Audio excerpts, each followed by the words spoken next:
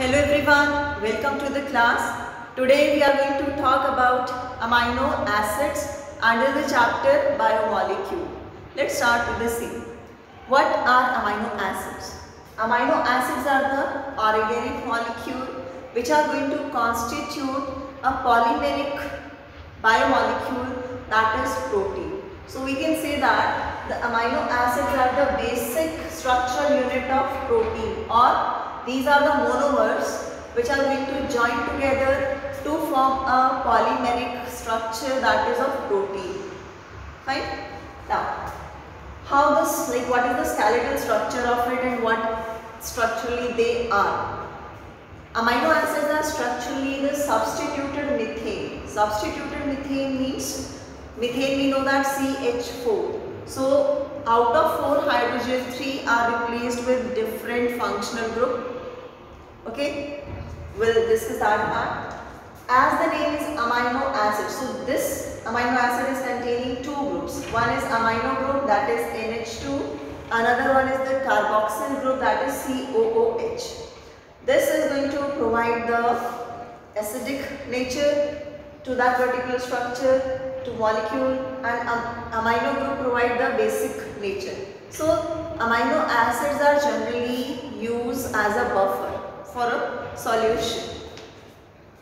Fine. Now where these two groups are attached to which particular carbon, we'll discuss that particular part. As we have discussed now that is a substituted methane. So methane is this one with the four hydrogen attached to the carbon.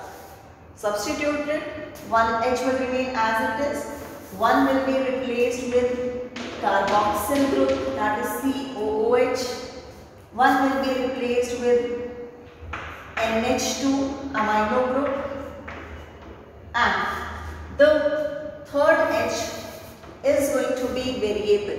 It means this can contain any other group. This can be simple H, it can be CH3, it can be alcoholic group, any. That is going to decide that what type of amino acid it is or what is the nature of the amino acid. Fine. So this will be denoted by R. So this R is variable. It means this will going to change. Rest of the structure will remain same in all the types of amino acids. So this is the skeletal structure of amino acids. Okay, what we are going to change in different amino acid that is R. So one amino group, one carboxyl group will going to be there in the structure of the amino acid. So this is the basic structure. This is going to decide the type of the amino acid, the nature of the amino acid, this R, which is variable. Got it? We're going to talk about very important uh, this particular carbon to which these two groups are attached. This is alpha carbon. So as we have written these group carboxyl group, amino group, both are going to attach to alpha carbon. So this is that alpha carbon. Got it? Next is, we are going to talk about a very important property of these amino acids, like how they are going to behave in different pH solutions. So let's take a look on that.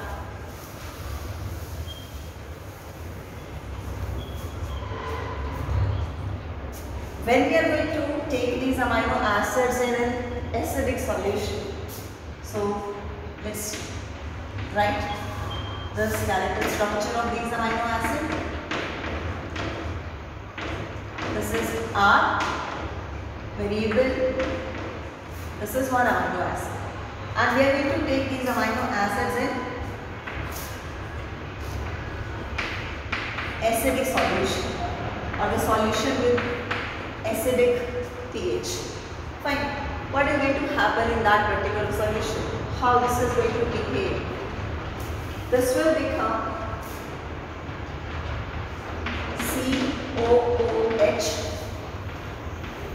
NH3 positive. H and this R will remain same. So from where this positive charge came? This is from the solution. What is that in the solution? H positive. So these H positives combine with this NH2 amino group and make this ion positive. So this is a positive ion.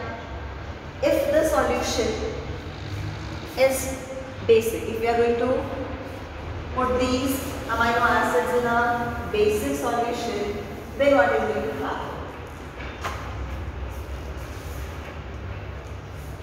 In the basic solution,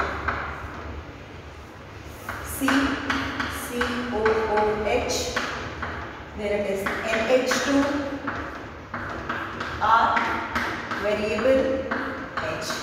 Now, the basic solution is going to take the pro protons or the H positive ions.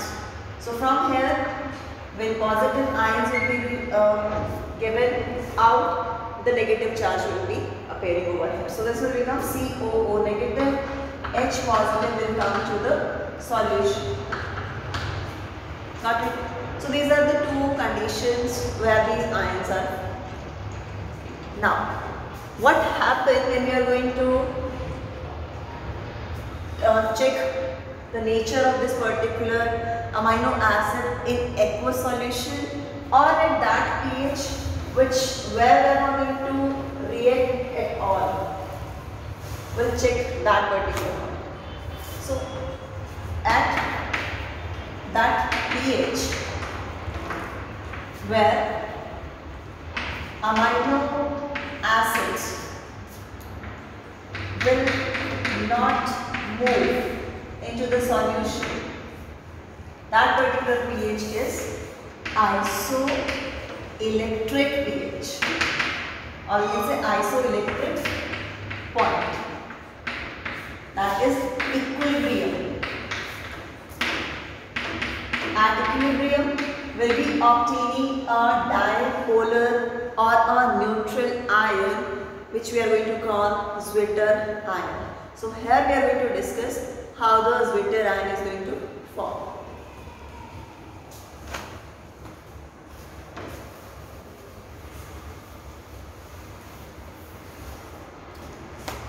So this is our amino acid. This is R variable. This is amino group and H. So where are we are going to put it in? At equilibrium we can call it or in the aqueous solution.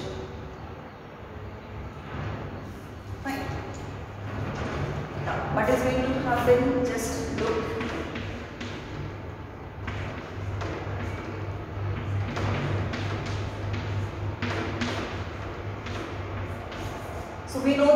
that in the aqueous solution there is no H positive and they are not going to take the H positive. That is not going to happen.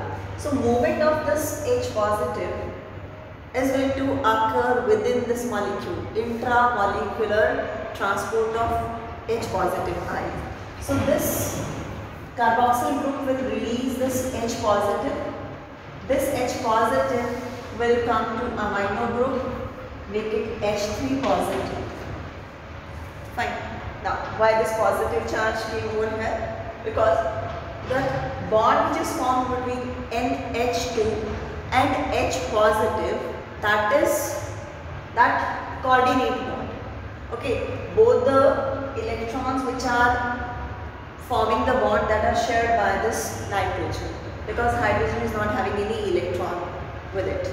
Got it? And from here, when it is losing that the carboxyl group is losing that H positive, that is without the electron. That's why it was carrying that positive charge and it will, oxygen is having that extra electron. That's why it is negative.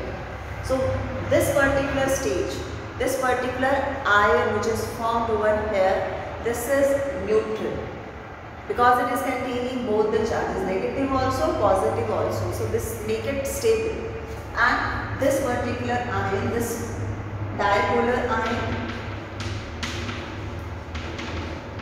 is known as Zwitter ion. So what is the Zwitter ion? Zwitter ion is a hybrid ion which is containing positive, negative both the charges. So there is net zero charge over this particular molecule. Got it? That's why it will not going to move into the solution. Fine. So this is the concept of the Zwitter ion. Thank you.